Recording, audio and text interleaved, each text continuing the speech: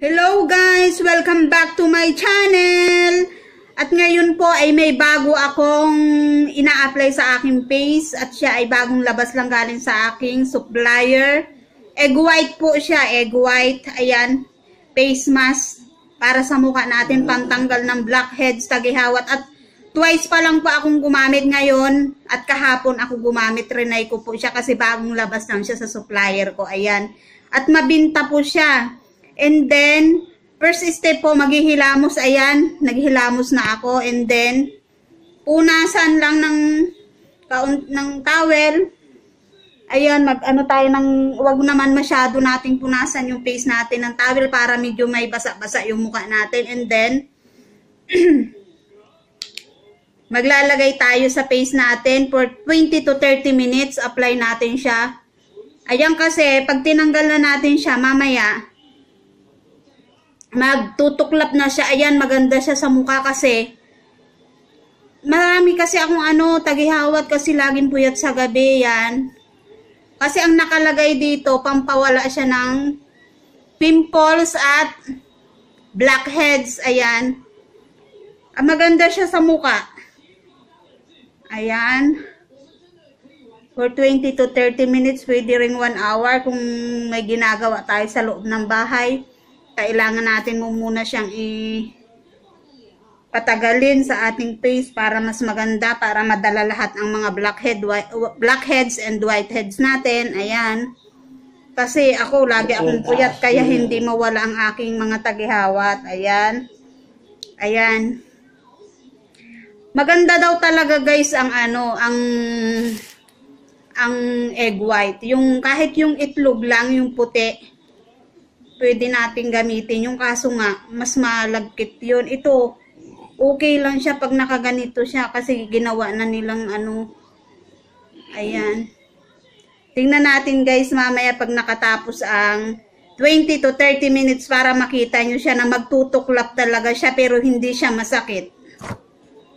Hello guys! At yan, after 20 minutes ay tatanggalin ko na yung egg white na inilagay ko po sa aking face. At yan, tingnan nyo po, oh, yung mukha ko. Ayan po, oh. Nagtutuklap-tuklap na po siya ng kusa. Pero pinakamaganda dito, dapat mga 1 hour mo siya bago tanggalin. Eh ngayon, 7.20 na dito ng gabi. Gusto ko na rin mahiga. Kasi 20 minutes na yan. Gusto ko na magpahinga kasi medyo napagod ako kahapon at ngayon maghapon kasi nga New Year dito. Ayan siya guys, oh, tingnan mo. Ang ganda-ganda niya sa face. Oh, yan.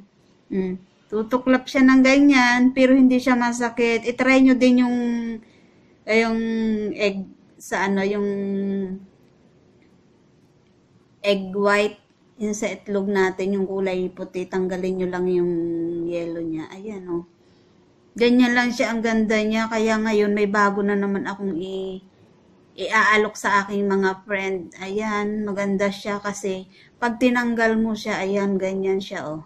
Ayan, hanggang sa pataas mo na siya. Kailangan nga 1 hour, pero gusto ko ng ano. Kasi ang nakalagay naman doon, pwede mo siyang tanggalin 20 to 30 minutes or something.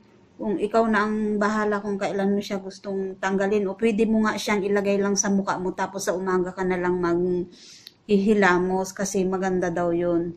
Kasi talagang dikit na dikit na yan. O, tingnan mo nyo. Kusa na siyang natatanggal lalo na sa ilong natin kung marami tayong blackheads, whiteheads. Ayan, ganyan lang siya. Mm.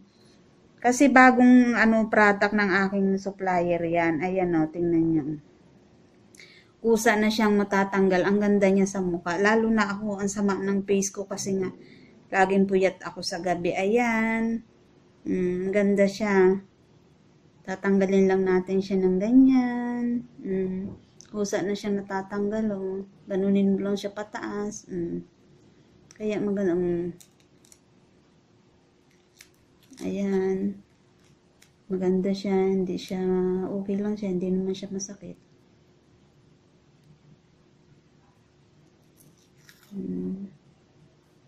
Tapos pag natanggal mo na siya, maghilamos ka na, ayan. Ang ganda-ganda niya. Twice pa lang akong naglagay. Ayan.